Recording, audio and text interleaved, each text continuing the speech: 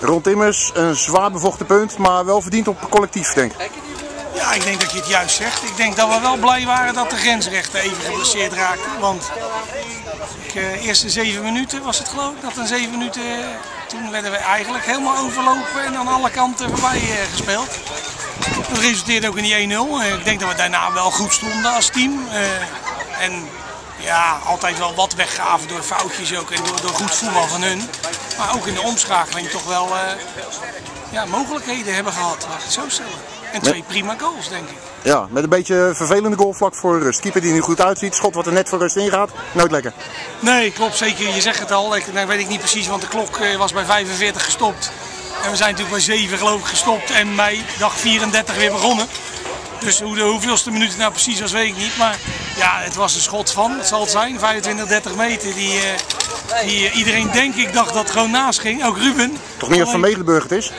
Nee, maar deze was natuurlijk, eh, ik denk dat jij of ik hem al hadden gepakt. Maar goed, eh zeg ik tegen in de rust ook tegen Ruben, deze ga je niet meer pakken, deze bal.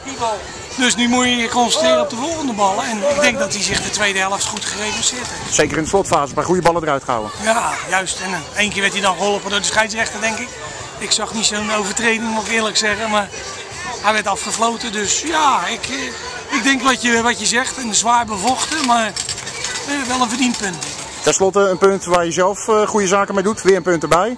En nog altijd in race natuurlijk in die competitie voor die plek 3. En straks de derde periode, maar dat is een ander verhaal. En ik zei deze B zijn ook heel blij. Ja, nou ja, goed. Ik bedoel, laten we eerlijk zijn, we voetballen niet veranderen. Dat dat meegenomen is. Dat een collega hier in de buurt is prettiger altijd, eh, die kan helpen. Maar goed, daar doen we het niet voor. We doen het inderdaad voor eh, zelfs zoveel mogelijk punten te halen. Nou, je hebt nu de, de beoogde 32 die ik in principe op voorhand had gezegd die je wel nodig moet hebben om veilig te spelen. Nou, die heb je nu.